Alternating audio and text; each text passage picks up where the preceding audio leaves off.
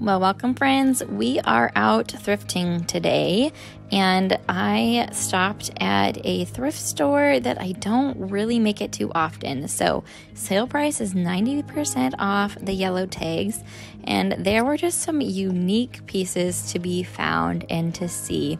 I do share a haul at the end with some of the pieces I have found, but I'm just to bring you along and show you what I got to see at this thrift store, and then I did stop at a Goodwill on another day and found some charming vintage pieces as well there. And to be honest, the Goodwill prices at that particular Goodwill were pretty decent. I feel like where I live, they're usually pretty high for their prices, but it was a good day and I found some fun pieces. So let's do a little shopping and just look to see what this thrift store has and what Goodwill has.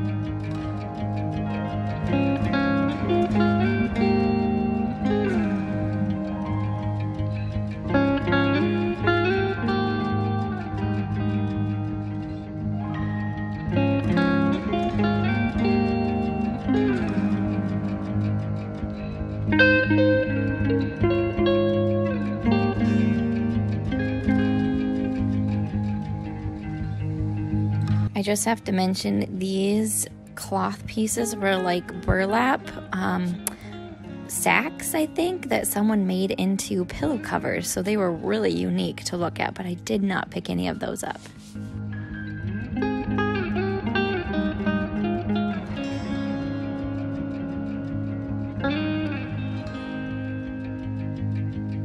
All right, on to Goodwill. So I always just check all the top clothing racks because that is where you can score some of the best finds. I don't often stop at Goodwills because, like I said earlier, I feel like their prices aren't always the best where I'm at in South Dakota. But this particular stop was not too bad, and so many fun things to find, even some pieces that are new that looked vintage. I really debated on picking up and getting, like this cookie kettle, just fun copper kettle.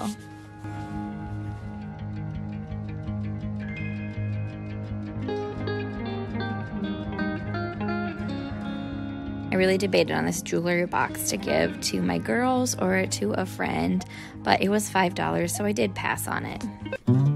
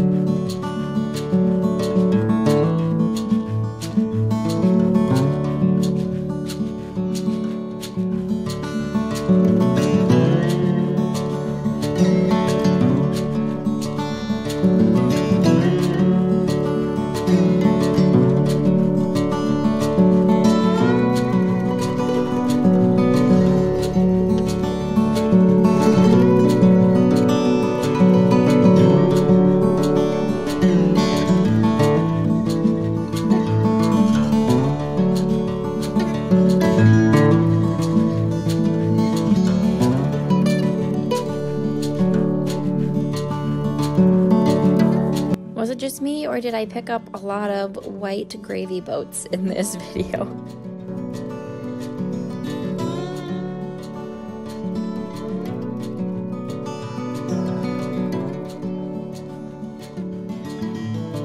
The basket selection at Goodwill was quite decent this time around, but I think I probably have picked up enough baskets for my home for a while. I usually pick up a basket in every haul, and so um, you'll just have to see what I find.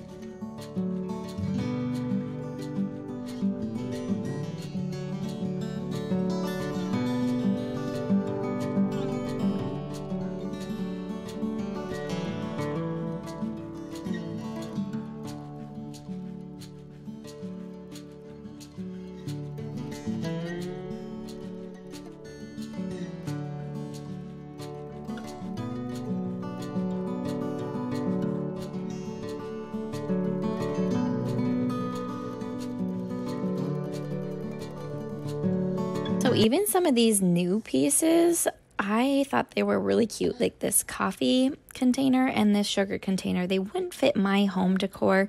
But even if they were just from TJ Maxx, as the tag said, and these new placemats, they're so vintage looking that they would be really fun to have. All right, so I'm gonna share my haul with you. I have about six or seven pieces that I picked up throughout this collective haul. Some vintage pieces, pieces I will probably keep, and a couple, couple practical items. I say this often, but I do limit what I purchase. Things that I know I, I will use, things that I will be gifting, or things that I can put in my shelf that I have in an antique store. So let's just get started. First piece is this beautiful tin, blue and white vintage looking tin. It was, I want to say $2, but I used it for some 4th of July decor. Um, if you follow me on Instagram, you probably saw that in my stories, but just so fun. Not really sure even the brand, but it was so cute. For $2, I couldn't pass that up. Then at that same antique, or that same thrift store, I got two of these pillows. They are so fluffy. They're kind of like, they're a little more rough on the front to have some texture. They were a dollar a piece. I think they're Harmony House, and I've talked about these this brand of pillow before and they have brown tassels. They would be beautiful for fall maybe in our little guest cottage. They have a little pilling going on but still really cute pillow with that brown tassel and the brown stripe and white. And then they're just neutral on the back. So I got two of these Right, then at Goodwill, I actually felt like the prices weren't as bad this time. And two items were not priced. This first one was not priced. So they were high school girls asking, and I asked for them for a dollar. So they gave them to me for 99 cents. And then this crock. I've never found a crock like this. No lid on it, but this was also for a dollar. But these are so fun. This could hold little utensils in it, put it in my antique booth, gift it, something like that. But both these were 99 cents a piece. This cute little floral mug. It just has like that um, wicker pattern on the bottom with the floral. It's creamy color. It's got some wear on it. It was a dollar. Um, I'm trying to see yeah, stoneware Japan. I'm taking the tag off here. So just really cute. I thought it'd be fun to gift with a few tea bags in it to a friend um, or just to drink out of as well for myself. Now this piece I only picked up because it was so unique. I have never seen anything like this and I love doing cut flowers from my garden. You've probably seen that too in a lot of my videos or if you follow me on Instagram as well. But it was $1.75. There is no brand on the bottom, but it's just, it reminds me of Milk Glass. I'm not sure if it really is, but it is, it's just so unique and I couldn't pass that up for $1.75. Lastly, you saw me look at this, this large wicker hamper. It does have a liner, but I will be taking that off and using the basket itself or washing the liner. I mean, it's just got some stains and some hair on the bottom, so I could wash that. It was $6, but man, for really sturdy, light laundry basket, I really can't pass that up. And my other one got really moldy on the bottom that I had paid $15 for at an antique store. So I think this is a steal. For $6, I was not gonna pass this wonderful, pretty large laundry hamper basket. All right, well, thanks for coming thrifting with me and seeing my minimal haul. It's fun to share these with you, and I hop into thrift stores or garage sales when I can, when I get the opportunity.